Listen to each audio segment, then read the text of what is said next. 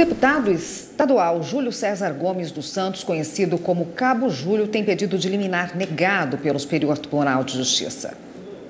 O deputado investigado na Operação Sanguessuga, que desvendou o esquema de corrupção por meio de compras superfaturadas de ambulâncias, foi condenado em duas ações penais. Em uma delas, ele foi condenado a pena de seis anos de detenção em regime semiaberto por crimes de fraude em licitação. Em outra condenação, o parlamentar foi condenado a pena de quatro anos em regime aberto pelo crime de corrupção passiva, substituída por duas penas restritivas de direitos, consistentes em prestação de serviço à comunidade e multa.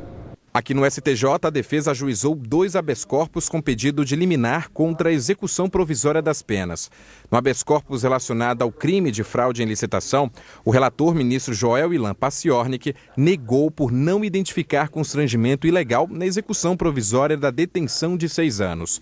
No segundo habeas corpus, o pedido foi aceito pelo ministro Ribeiro Dantas para suspender somente a execução da pena restritiva de direitos imposta ao deputado. Foi aplicado o